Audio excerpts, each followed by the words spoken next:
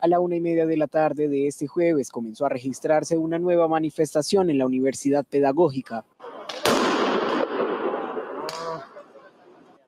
En principio, los disturbios se registraron frente a la universidad, la carrera 11, pero luego la calle 72A fue el escenario de los enfrentamientos.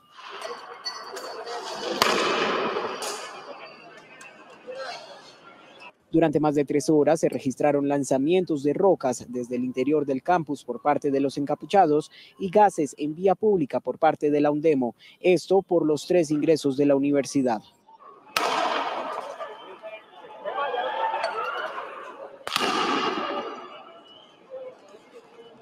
Tras los enfrentamientos, las autoridades realizaron cierres viales en la carrera novena con calle 72, la carrera décima con calle 72, la carrera décima con calle 73 y la carrera 11 con calle 74, por lo que la movilidad colapsó. Gravísimo, gravísimo el tema de la movilidad. Siempre la carrera, la, esta, la, el sentido hacia sur-norte siempre se ve afectado. Por eso uno en esta pierda tiempo, pierda infinidad de cosas que uno puede hacer, hermano. Entre tanto, las carreras 11 y décima fueron las más afectadas, con varios trancones. Está pesado, está pesado para llegar a la casa. Estoy esperando a mi esposa que llegue y nada que llega. Tras de que esos trancones acá en Bogotá hay protestas, rota, huecos, de todo, imagínense.